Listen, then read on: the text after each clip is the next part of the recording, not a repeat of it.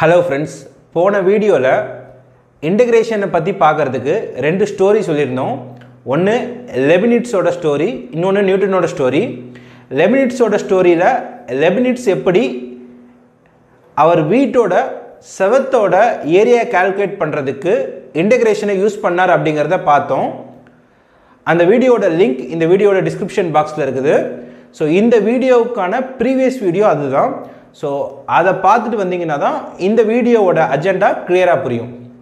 So இந்த வீடியோவில் நியூட்டனோட situation என்ன அப்படிங்கிறதையும் அதுக்கு அவர் எந்த மாதிரியான சொல்யூஷனை அப்ரோச் பண்ணார் அப்படிங்கிறத தான் பார்க்க போகிறோம் ஸோ நியூட்டனுக்கு முன்னாடி இருந்த பிரச்சனை என்ன அப்படின்னு பார்த்தோம்னா நியூட்டனோட அப்பா நியூட்டன் கிட்ட ஒரு பைக்கை கொடுத்து நீ நான் சொல்கிற இடங்களுக்கெல்லாம் ட்ராவல் பண்ணணும்.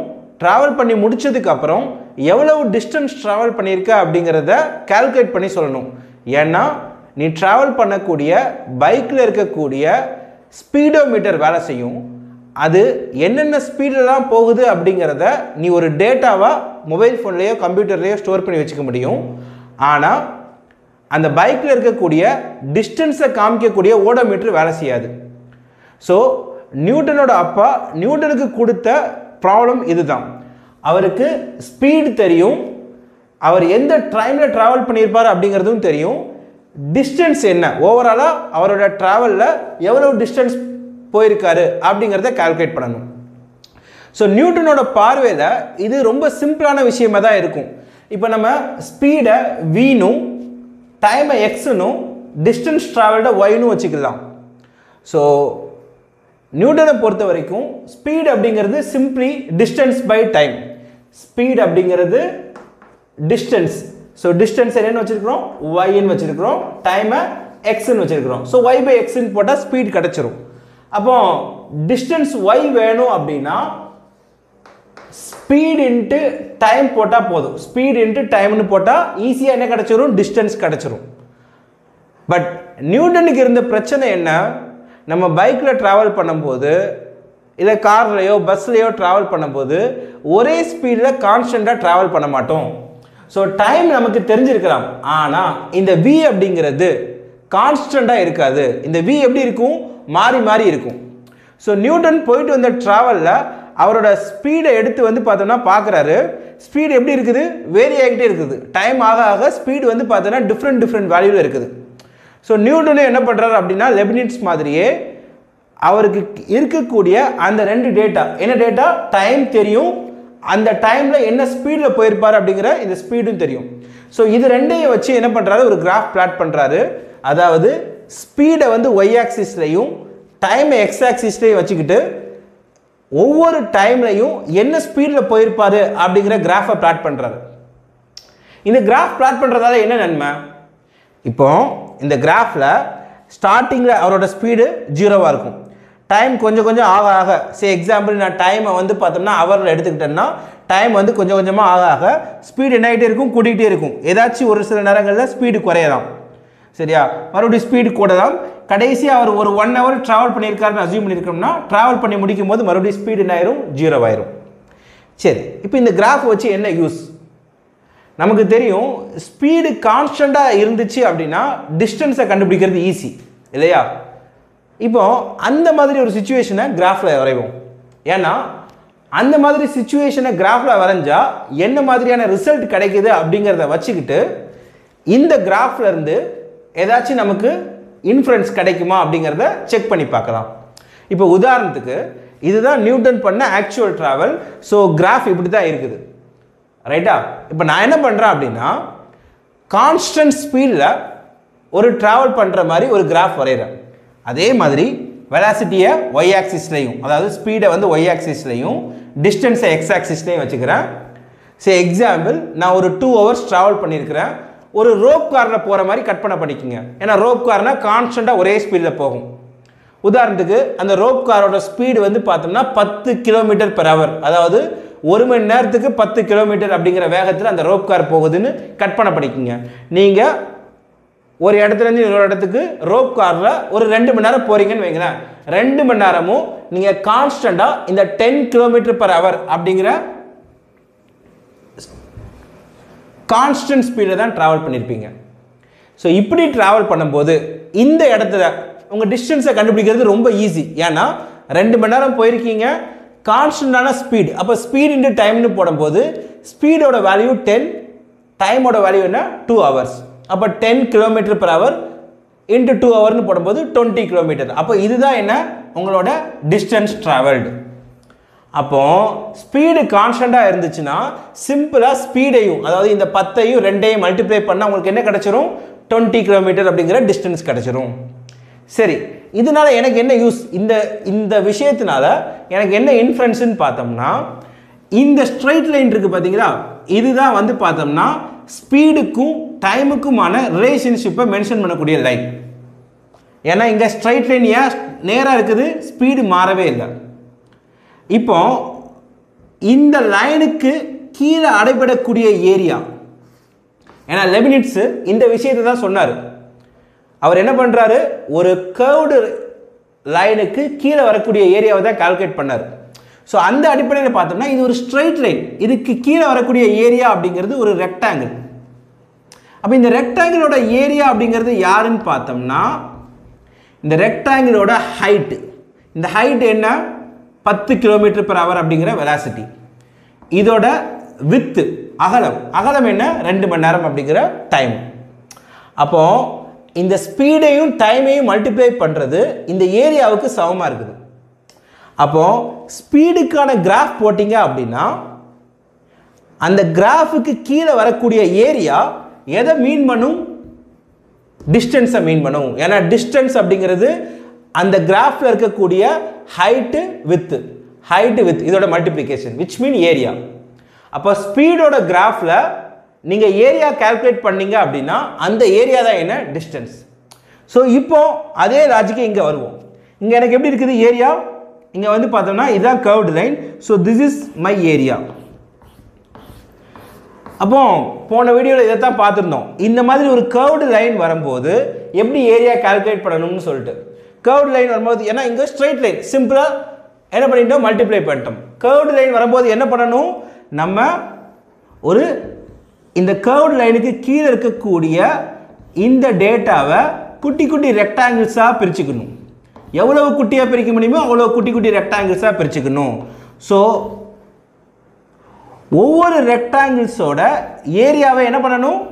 கண்டுபிடிச்சி அந்த எல்லா ரெக்டாங்கிள்ஸோட ஏரியாவையும் நீங்கள் ஆட் பண்ணிட்டீங்க அப்படின்னா உங்களுக்கு என்ன கிடச்சிரும்? டிஸ்டன்ஸ் என்னன்னு கிடச்சிரும்.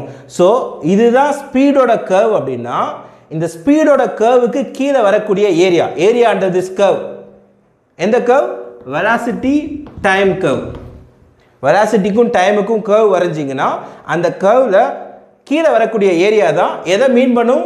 டிஸ்டன்ஸ் ட்ராவல்டை மீன் பண்ணும். ஸோ இந்த ஏரியாவை எப்படி கால்குலேட் பண்ணுறது இந்த கேர்வுக்கு கீழே இருக்கக்கூடிய ஸ்பேஸை குட்டி குட்டி ரெக்டாங்கிள்ஸாக பிரித்து ஒவ்வொரு ரெக்டாங்கிள்ஸோட ஏரியாவையும் கண்டுபிடிக்கணும். ஒவ்வொரு ரெக்டாங்கிள்ஸோட ஏரியா எதை மீன் பண்ணும்? இப்போ உதாரணத்துக்கு இதுதான் ஒரு ரெக்டாங்கிள்னு வச்சுக்கிட்டோம்னா இந்த ரெக்டாங்கிளோட ஹைட் அப்படிங்கிறது யாரு?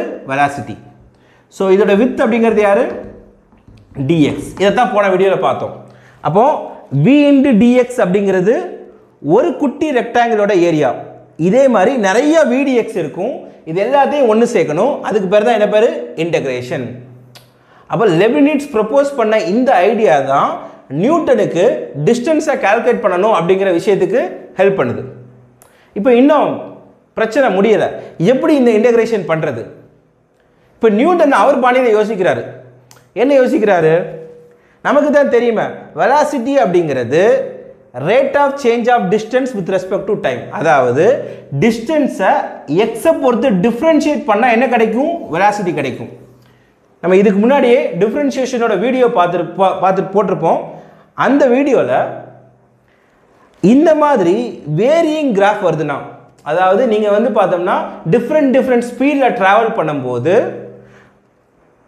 டிஃப்ரெண்ட் டிஃப்ரெண்ட் ஸ்பீடில் ட்ராவல் பண்ணும்போது ஒவ்வொரு பாயிண்ட்லையும் உங்களோட வெலாசிட்டியை கால்குலேட் பண்ணணும் அப்படின்னா நீங்கள் என்ன பண்ணணும்? இந்த டிஸ்டன்ஸை டைமை பொறுத்து டிஃப்ரென்ஷியேட் பண்ணணும். இது முன்னாடியே நமக்கு டிஃப்ரென்ஷியேஷன் மூலமாக தெரியும். அப்போ வெலாசிட்டி அப்படிங்கிறது டிஸ்டன்ஸோட differentiation with respect to time அப்போ டிஸ்டன்ஸ் அப்படிங்கிறது என்னவாக இருக்கும்? டிஸ்டன்ஸை டிஃப்ரென்ஷியேட் பண்ணால் வெலாசிட்டி கிடைக்குது. அப்போ டிஸ்டன்ஸ் அப்படிங்கிறது இந்த வெலாசிட்டியோட ஆன்டி டிஃப்ரென்ஷியேஷன் இந்த மாதிரியான அப்ரோச்சுக்கு நியூட்டன் வராது டிஸ்டன்ஸை டிஃப்ரென்ஷியேட் பண்ணால் வெலாசிட்டி கிடைக்கும். அப்போ வெலாசிட்டியை ஆன்டி டிஃப்ரென்ஷியேஷன் எதிர் வகையீடு பண்ணுங்க அப்படிங்கிறாரு. ஆப்போசிட்டை டிஃப்ரென்ஷியேஷன் பண்ணுங்க. ஆன்டி டிஃப்ரென்ஷியேஷன் சொல்றாரு. அப்போ இன்டகிரேஷனுக்கு அவர் என்ன பெயர் வைக்கிறார் அப்படின்னா ஆன்டி டிஃப்ரென்ஷியேஷன் ஏன்னா டிஸ்டன்ஸ் அப்படிங்கிறது த்ரூ இன்டகிரேஷன் மூலமாக தான் கிடைக்கும்.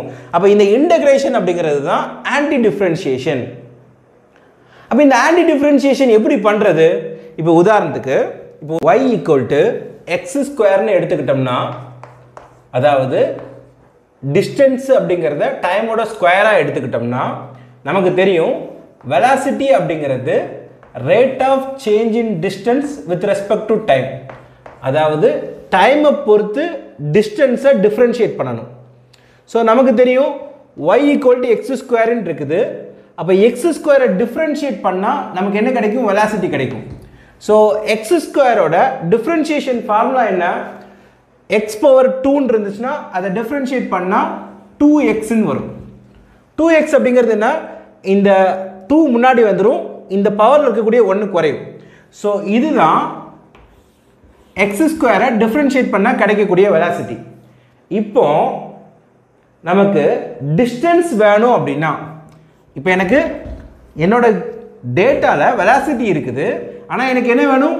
டிஸ்டன்ஸ் வேணும். ஸோ ஒய் தெரிஞ்சிருந்துச்சு அப்படின்னா ஒய்யை டிஃப்ரென்ஷியேட் பண்ணால் வி கிடைக்குது. அப்போ வியை இன்டகிரேட் பண்ணால் எனக்கு என்ன கிடைக்கும்? ஒய் கிடைக்கும். அதாவது வெலாசிட்டியை இன்டகிரேட் பண்ணால் ஒய் கிடைக்கும். That is anti differentiation of v ஏன்னா ஒய்யை டிஃப்ரென்ஷியேட் பண்ணால் வி கிடைக்குது. அப்போ வியோட ஆன்டி டிஃப்ரென்ஷியேஷன் என்ன? ஒய் ஸோ அதுதான் இந்த வெலாசிட்டி கிராஃபுக்கு கீழே இருக்கக்கூடிய ஏரியாவும் டிஸ்டன்ஸை மீன் பண்ணுறதுக்கான காரணம். அப்போ integration of V D X அப்போ வி அப்படிங்கிறது என்ன? நமக்கு தெரியும். விங்கிறது டூ எக்ஸ் அப்படின்னா. டூ எக்ஸ் டிஎக்ஸ் அப்படின்னா இப்போ எப்படி யோசிக்கணும்? வி அதாவது டூ எக்ஸை இன்டகிரேட் பண்ணணும். எப்படி இன்டகிரேட் பண்ணுறது இன்டகிரேஷன் அப்படிங்கிறது டிஃப்ரென்ஷியேஷனோட ஆப்போசிட் ஆன்டி டிஃப்ரென்ஷியேஷன் எதை டிஃப்ரென்ஷியேட் பண்ணால் டூ எக்ஸ் வரும்? எதை டிஃப்ரென்ஷியேட் பண்ணால் டூ எக்ஸ் வரும்? அதுதான் டூ எக்ஸோட இன்டகிரேஷன் ஸோ நமக்கு தெரியும் எக்ஸ் ஸ்கொயரை டிஃப்ரென்ஷியேட் பண்ணால் டூ எக்ஸ் வருது. அப்போ டூ எக்ஸை இன்டகிரேட் பண்ணால் நமக்கு என்ன வரும்? எக்ஸ் ஸ்கொயர் வரும். ஸோ வெலாசிட்டி அப்படிங்கிறது டூ எக்ஸாக இருந்துச்சுன்னா டிஸ்டன்ஸ் அப்படிங்கிறது என்னவா இருக்கும்? எக்ஸ் ஸ்கொயராக இருக்கும். இப்போ ஜென்ரலாக சொல்லணும்னா y equal to x to the power of என்னன்னு இருக்குதுன்னு வைங்களேன். இதுக்கு டிஃப்ரென்ஷியேஷன் ஃபார்ம்னா நமக்கு தெரியும். dy பை டிஎக்ஸ் அப்படின்னா n into x to the power of n minus one அதாவது x to the power of என்ன டிஃப்ரென்ஷியேட் பண்ணால் இதான் ஃபார்முலா இந்த எண் முன்னாடி வந்துடும் எண்ணுக்கு பக்கத்தில் இருந்து ஒன்று சப்ட்ராக்ட் ஆகும். சரி இது டிஃப்ரென்ஷியேஷன் ஃபார்முலா இப்போ இதே ஒய்யை நீங்கள் இன்டகிரேட் பண்ணணும் அப்படின்னா எப்படி யோசிக்கணும்? இதே ஒய்யை இன்டகிரேட் பண்ணணும். வித் ரெஸ்பெக்ட் டு எக்ஸ் அப்படின்னா எப்படி யோசிக்கணும்? ஸோ டிஃப்ரென்ஷியேஷனில் என்ன பண்ணுறோமோ அதுக்கு அப்படியே ஆப்போசிட்டில் பண்ணால் அதான் இன்டகிரேஷன் சே எக்ஸாம்பிள் இங்கே பவர் என் இருக்குது. ஸோ இந்த எண்லேருந்து என்ன பண்ணுறோம் ஒன்றை சப்ட்ராக்ட் பண்ணுறோம் ஸோ இங்கே என்ன பண்ணணும்? எண்லேருந்து ஒன்றை ஆட் பண்ணணும். ஓகேயா ஸோ இங்கே பவரில் இருந்த டேமை முன்னாடி மல்டிப்ளை பண்ணோம். இங்கே ஆட் பண்ணதுக்கப்புறம் பவரில் இருக்கக்கூடிய டேமை என்ன பண்ணணும்? கீழே கொண்டு வந்து டிவைட் பண்ணணும். ஸோ இதுதான் இன்டகிரேஷனோட ஃபார்முலா ஸோ இந்த ஃபார்முலா எந்த லாஜிக்கில் வருது? இந்த டேர்மை நீங்கள் டிஃப்ரென்ஷியேட் பண்ணுங்கள் உங்களுக்கு இந்த ஆன்சர் வரும். இந்த டேர்மை டிஃப்ரென்ஷியேட் பண்ணால் ஆட்டோமேட்டிக்காக எது வரும்? X to the power of n வரும். பாருங்க இந்த லாஜிக்கில் ஏன்னா இது இன்டெகிரேஷனோட ஃபார்முலா ஸோ இந்த லாஜிக்கில் இதை டிஃப்ரென்ஷியேட் பண்ணால் ஆட்டோமேட்டிக்காக என்ன வரும்? X to the power of n வரும். ஓகேயா ஸோ அப்போ வெறும் x to the power of n இருந்துச்சுன்னா x to the power of n plus one by n plus one இப்போ நம்ம லெபினிட்ஸோட கேள்விக்கான ஆன்சர் கிடைச்சிருச்சு. லெபினிட்ஸ் என்ன நினைச்சாரு? அவருக்கு எக்ஸ் ஸ்கொயரை எப்படி டிஃப்ரென்ஷியேட் பண்ணணும் எப்படி இன்டெகிரேட் பண்ணணும்னு தெரியணும். எப்படி இன்டகிரேட் பண்ணுறது இங்கே ஒய்க்கு பதிலாக என்ன போட்டிருக்கேன்? எக்ஸ் ஸ்கொயர்னு போட்டிருக்கேன். ஸோ ஒய்க்கு பதிலாக x to the power of என்னன்னு இருந்துச்சுன்னா நீங்கள் என்ன பண்ணணும்? எக்ஸோட எக்ஸ் பவரில் என்னோட ஒன்றை கூட்டணும். அப்போ எக்ஸ் பவரில் என் என்ன இருக்குது? டூ இருக்குது. டூவோட ஒன்றை கூட்டணும். பை டூ ப்ளஸ் ஒன் இதில் எக்ஸோட லிமிட்டும் அவருக்கு தெரிஞ்சிருந்துச்சு. மைனஸ் டூலேருந்து ப்ளஸ் டூ வரைக்கும் அப்படின்னு சொல்லிட்டு. ஸோ நான் என்ன பண்ணணுங்க இந்த லிமிட்டை இன்டகிரேட் பண்ணி முடிச்சதுக்கப்புறம் இன்டகிரேட் பண்ணி முடிச்சதுக்கப்புறம் இந்த லிமிட்டை இந்த மாதிரி மென்ஷன் பண்ணி காமிக்கணும். ஏன் அப்படின்னா ஃபஸ்ட்டு இந்த டூ ப்ளஸ் ஒன் என்ன? த்ரீ இல்லையா? ஸோ இது த்ரீயை கீழே போட்டுருங்க. இதுக்கு பேர் லோயர் லிமிட் இதுக்கு பேர் அப்பர் லிமிட் ஏன்னா நம்ம மைனஸ் டூலேருந்து ப்ளஸ் டூ வரைக்கும் தான் இன்டகிரேட் பண்ணோம் லெவனிட்ஸோட ப்ராப்ளத்தில் ஸோ என்ன பண்ணுறோம் எக்ஸுக்கு பதிலாக டூ போடுறோம். அப்போ டூ போட்டால் என்ன வரும்? Two power three minus upper limit போட்டாச்சு. போட்டதுக்கப்புறம் மைனஸ் போட்டுட்டு லோயர் லிமிட் போடணும். ஸோ மைனஸ் போட்டால் எப்போவுமே ப்ராக்கெட் போடணும். லோயர் லிமிட் யார்? Minus two so minus two whole to the power of three அப்போ டூ பவர் த்ரீ என்ன? Eight minus minus two power three அது ஒரு மைனஸ் எயிட் அப்போ என்ன ஆயிரும்? ப்ளஸ் எயிட் ஆயிரும். ஸோ சிக்ஸ்டீன் பை த்ரீ இதுதான் லெப்னிட்ஸோட ப்ராப்ளத்துக்கான ஆன்சர் அதாவது அவர் என்ன பண்ணணும்னு நினச்சாரு? இந்த மாதிரி ஒரு கர்வ்டு சர்ஃபேஸ் எடுத்துக்கிட்டு இந்த சர்ஃபேஸுக்கு மேலே அடைபடக்கூடிய இந்த ஏரியாவை கால்குலேட் பண்ணணும்னு நினச்சாரு. ஸோ இதை தான் அவர் கிராஃபில் பிளாட் பண்ணார். இன்டகிரேஷன் பண்ணணும் அப்படிங்கிற விஷயத்துக்கு கொண்டு வந்தார். ஸோ அது மூலமாக இந்த ஏரியா எவ்வளோ வருது? Sixteen by three square feet ஏன்னா யூனிட் எல்லாமே ஃபீட்டில் எடுத்திருந்ததால் ஸ்கொயர் ஃபீட்னு வரும். ஓகேயா ஸோ நியூட்டன் சொன்ன இந்த ஆன்டி டிஃப்ரென்ஷியேஷன் அப்படிங்கிற இந்த கான்செப்ட் லெபினிட்ஸுக்கு இன்டகிரேஷன் பண்ணுறதுக்கு ஹெல்ப் பண்ணுச்சு. ஓகேயா ஸோ நான் இங்கே சொன்ன ஸ்டோரி எல்லாமே உங்களோட புரிதலுக்காக சொன்ன கற்பனை கதைகள் தான். ஸோ ரெண்டுமே ரெண்டு டிஃப்ரெண்ட் அப்ரோச் அதாவது இன்டகிரேஷனை ஒரு கர்வுக்கு கீழே இருக்கக்கூடிய ஏரியாவும் நம்ம வந்து பார்த்தோன்னா அப்ரோச் பண்ணலாம். அல்லது டிஃப்ரென்ஷியேஷனுக்கு ஆப்போசிட் டேமாகவும் அப்ரோச் பண்ணலாம். ஸோ இந்த ரெண்டுலேயுமே நம்ம அப்ரோச் பண்ணாதான் இன்டகிரேஷனுக்கான ஃபார்முலா நமக்கு கிளியராக கிடைக்கும். ஸோ இந்த இன்டகிரேஷனை யூஸ் பண்ணி தான் டிஃப்ரெண்ட் டிஃப்ரெண்ட் ஷேப்புக்கு கீழே இருக்கக்கூடிய ஏரியாவை கால்குலேட் பண்ணுறது எப்படிங்கிறது ஈஸியாச்சு ஸோ இதுக்கு நிறைய அப்ளிகேஷன்ஸ் இருக்குது. அது எல்லாமே அடுத்தடுத்து வரக்கூடிய வீடியோஸில் பார்க்கலாம். தொடர்ந்து இந்த மாதிரி வீடியோஸ் பார்க்குறதுக்கு என்னும் எழுத்தும் சேனலை சப்ஸ்கிரைப் பண்ணுங்கள்